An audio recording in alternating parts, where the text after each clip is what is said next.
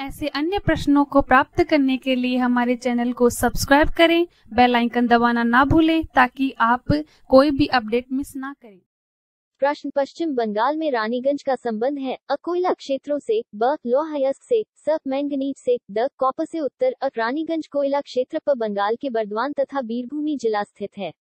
यहाँ प्राप्त कोयला उत्तम श्रेणी का है, किंतु उसम नमी का अंश अधिक है। यह कोयला उच्च ज्वलनशील है जो रेलों तथा तापीय विद्युत संयंत्रों में प्रयुक्त होता है।